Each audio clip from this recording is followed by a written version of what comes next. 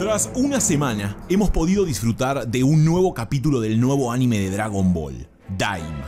El segundo capítulo finalmente nos mostró cómo Goku, Vegeta, Bulma, Piccolo y los demás fueron convertidos en niños. Ahora con la aparición de Glorio al final del episodio, Goku se embarcó junto al Supremo Kaiosama en un viaje rumbo al reino de los demonios, posiblemente el lugar más misterioso al que el Saiyajin haya ido. Además, quédense hasta el final, porque para los que ven la serie en Netflix, Crunchyroll u otras plataformas, tengo noticias de eso que son muy importantes, además de confirmación de horarios de estreno. No digan que no les dije. A continuación podrás ver el adelanto completo y extendido del capítulo 3. Recuerden que este anime prácticamente no tiene adelantos, así que si estás ansioso por ver qué más sucederá, quédate porque lo sabrás ahora mismo, en el siguiente video de Dragon Ball Daima.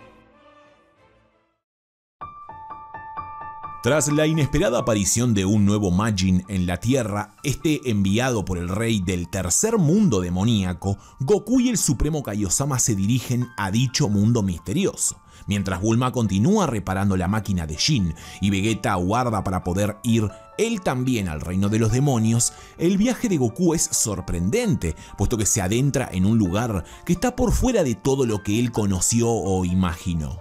Tras finalmente llegar, Goku actúa despreocupado y se lanza hacia el reino de los demonios, haciendo caso omiso a las órdenes y advertencias del Supremo Kaiosama. Es aquí que los problemas para todos comienzan. A continuación, te mostraré un adelanto extendido del próximo episodio, el cual dice así. El reino de los demonios. Goku y Shin junto a Glorio finalmente llegan al mundo demoníaco. Tras un viaje sorprendente y un poco alborotado, Goku está muy emocionado por estar en ese lugar, pero sin olvidarse de su objetivo, derrotar al malvado Rey Goma y rescatar a Dende. Tras arribar, Goku se lanza hacia la superficie de este mundo como siempre sin escuchar lo que los demás tienen para decirle y sin pensar en las criaturas que habitan en él.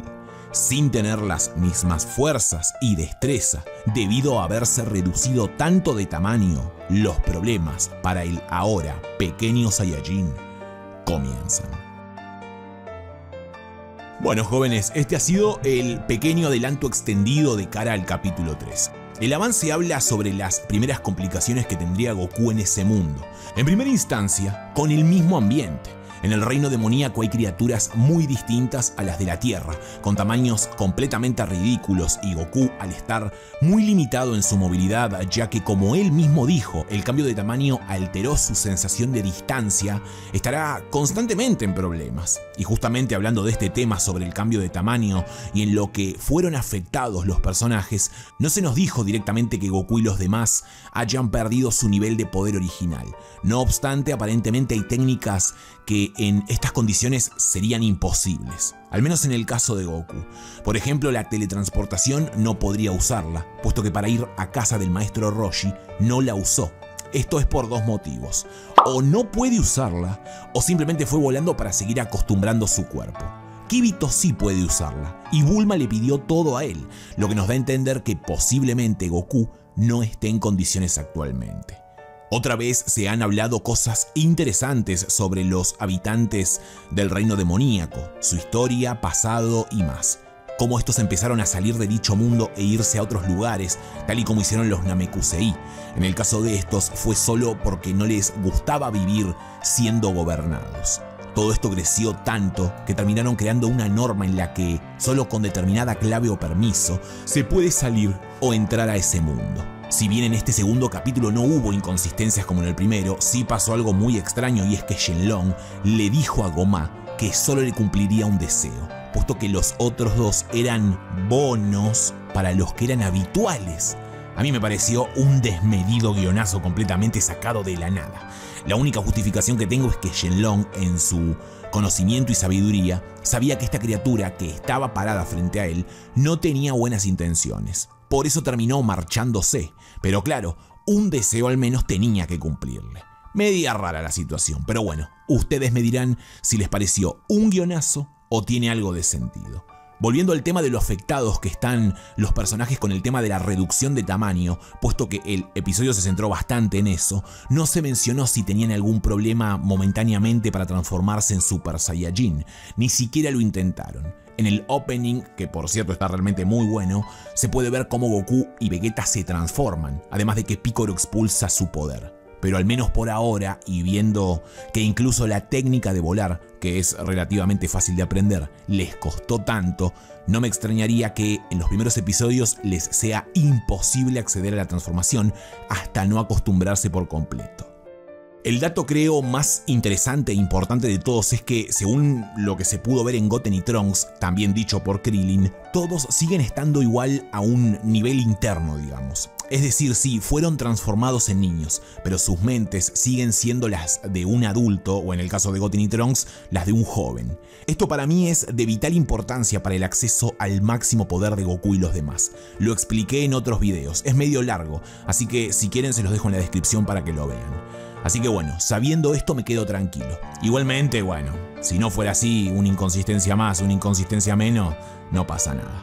Por último, toca hablar sobre el estreno del anime en Netflix. Como sabrán, hoy se estrenó el capítulo 1. El tema aquí es que los que lo ven en Crunchyroll lo van a ver un episodio adelantado es decir, Netflix estrenó hoy, pero solo lo hizo con el capítulo 1. No es que se subió el 1 y el 2. No sé si me explico. Entonces, los que quieren ver la serie actualizada, digamos, sí o sí tienen que verla por Crunchyroll.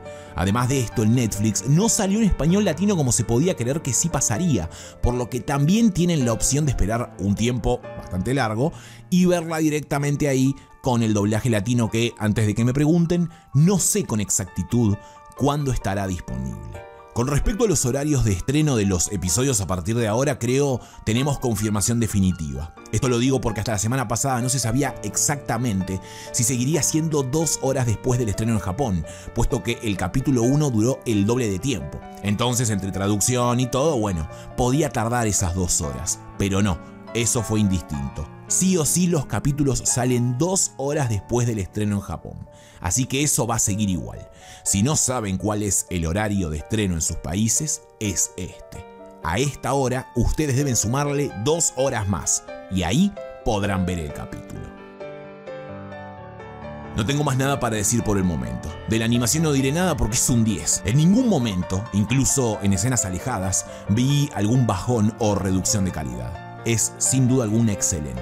Me encantaría que me digan qué les ha parecido este capítulo número 2 y si están ansiosos por ver el tercer episodio luego de este adelanto. Si tuvieran que calificar el capítulo del 1 al 10, ¿qué puntaje le darían? Antes de responder les pido por favor que si les sirvió ver este adelanto aquí conmigo, además de toda la otra información, dejen su ricorio en el video. Es solo un clic, les toma un segundo y a mí me ayudan mucho, así que cuento con su pulgar arriba. Luego de dejar su pulgar sete, ahí sí, espero leer sus opiniones, reacciones y sensaciones luego de ver el capítulo 2 abajo en los comentarios para que juntos podamos discutir sobre este tema. Si te gustó el video no olvides dejar tu pulgar arriba y compartirlo. Si lo compartes desde mi Instagram podrás aparecer en la sección de saludos al final del próximo video. Si aún no estás suscrito al canal, te invito a que te adentres en él, mires algunos videos y si te gusta, suscríbete. Activa la campana de notificaciones siempre luego de suscribirte para no perderte ningún video de tus series favoritas. Ahora sí, me voy. Adiós.